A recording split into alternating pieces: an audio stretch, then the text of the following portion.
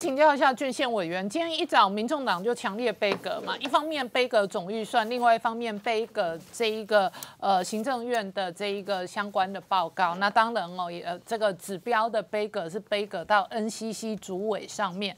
你怎么观察今天的状况？我觉得今天应该是蓝白讲好的，嗯啊，就各自都要演一出啦，啊，阿大概来分了啊，国民党就是发起退回总预算。啊，那总预算退回以后，接下来他还会再送进来，还会再协商了。嗯，好，我倒认为总预算整个立法院拒审的机会不不大了，因为这牵扯到很多都是民生相关的啊，甚至对于地方政府，现在国民党执政限制比较多啊的一些补助嘛，所以国民党的政治动作就是要求要退回总预算。嗯，那黄国昌呢，就是要赶。NCC 的主委出去嘛？其实照理讲，今天黄国昌他们要演的，应该是要声援柯文哲啊。嗯嗯，那那不干了。啊，为什么他没有赶法务部长？嗯，对啊，你应该赶。对啊，如果对啊，而且黄国昌很想要当法务部长啊，把他赶走了，自己过过瘾啊。那讲一个一般人其实是相对无感的首长，NCC 的主委。那你般人那也知道，A G G 主委写写写写去冲啦，哦，我认为这个也跟黄国昌的面子有关系啦，因为其实蓝白里面啊，从头到尾一直打 NCCA 的是黄国昌啦，嗯，好，那黄国昌打又打不出一个所以然，他说进进什么什么进传媒有弊案，那那你就去告啊，看你打不出到底你的你所谓的有问题是什么问题，嗯，到底。有有有有弊端，你就去提告也没有。我说黄国昌其实重点，今天他整个民众党完全没有人提到柯文哲的事情。嗯，所以可见啊，民意的方向啊，他们也很清楚了。嗯，或者更可能的是，黄国昌也许有感觉到，没有柯文哲的日子会更美好了啊。对，所以你看，这几天。黄珊珊开一个记者会，他表示什么？他有话语权。哎，伊马个台北市议员拢招来嘞，哦，那是表示这是三三派，这么搞黄国昌火力展示，然后他要代表民众党参加这个会议，其实很重要，嗯嗯。啊，就台美的军工会议哈，所以黄珊珊呢也开开始凸显出他的位置了。其实我觉得，民众党黄珊珊也好，黄国章也好，他都心知肚明啦，没有柯文哲了啦。啊，那没有柯文哲以后，那到底民众党更开心，happy happy。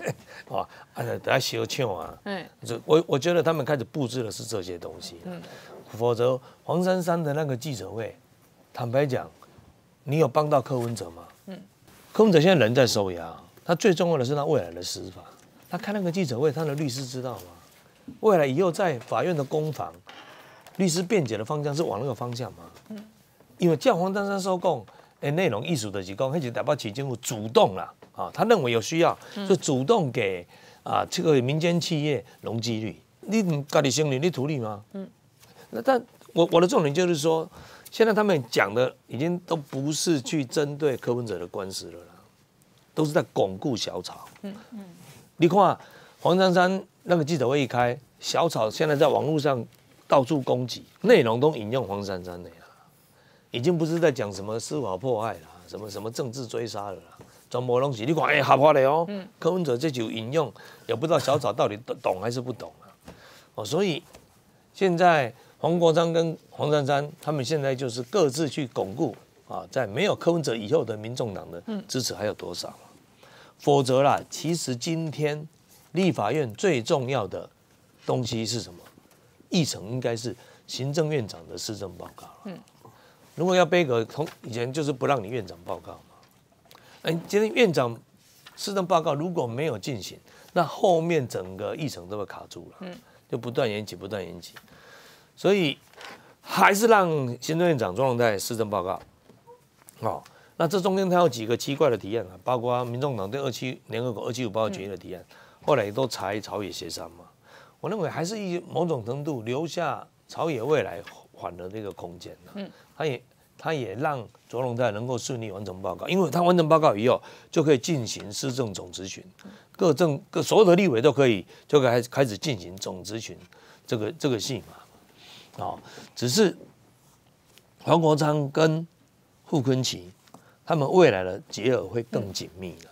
嗯，对。傅昆萁这种人，国民党内不是没有人对他有意见的。但傅昆萁现在就是利用黄国昌这八票，嗯，挟民众党自重嘛，已经把政治分量在国民党内不得了了，哎，东团一力控制，基本上 就是因为黄国昌必须要配合他，嗯，那对黄国昌来讲，他也需要傅昆萁啊，嗯，因为他跟傅昆萁一上一个会期两个人合作到现在啊，看得出来感情应该是更甜蜜的，所以。黄国昌借着傅昆萁的支持，他这八票就有价值啊。嗯，他一定是当小蓝，当国民，当当国民党的小弟嘛。嗯，他这这样，他这八票才有讲话的权利嘛。也就是未来的蓝白尔，与其说应该要解释为啊，就是傅昆萁了。嗯，就就是就是就是傅就是傅昆萁跟黄国昌的两个人的合作了。嗯，他们各取所需，互相取暖。嗯，也就是这样的这样的一个杯葛。其实，在上个会期接下来以后要算一个账，什么账呢？就是你政党的支持度啊，民众支不支持你蓝白在立法院这样的这样的一搞嘛？看起来国民党是大亏啦。照理讲，有执政包袱的民民进党应该是比较难撑住政党支持度，还有总统的满意度嘛？为什么都撑住了？嗯，那个青鸟行动出来了，哦，跟以前。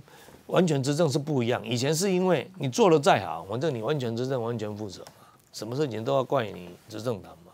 那现在因为你有蓝白的蓝白的不理性的你六你六还乱搞，所以民众会知道很多事情不能做，是因为蓝 是因为蓝白蓝白搞出来的。哦，所以 到最后看他们这样的结合，看起来如果是傅根萁跟黄国昌还是会更紧密结合，只是啦，他们盘算的已经不是政党利益了。嗯。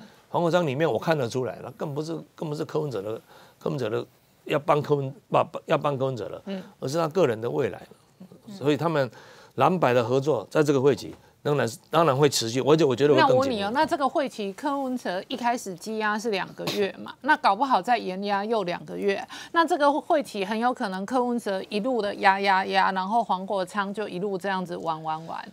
所以如果他真的觉得柯文哲不在，哎，好像更好啊，嗯，那那那。那那那何必何必再去帮柯文哲？压越久越好啊！但我觉得司法单位的，我看他对这个案子，除了第一个社会高度关注，第二个他这么密集的提讯哦，嗯，也有可能就是如果到时候他仍然有继续要羁押的必要，好，法院准的可能性很高了，嗯，表示我不是要压人压人逼供啊，我我是很积极的在侦办的，只是我仍然必须要严压，嗯，所以这个严压，第一个 也比较有说服力，那法院准的可能性也很高了，嗯。